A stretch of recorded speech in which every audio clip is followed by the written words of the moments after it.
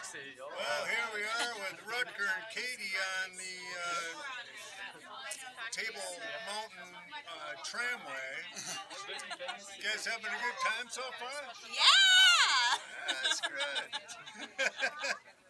What's your favorite thing so far? Uh, This right here, this moment, Ah, this moment good. right now. The folks at home. Hey, mom. We'll catch you later.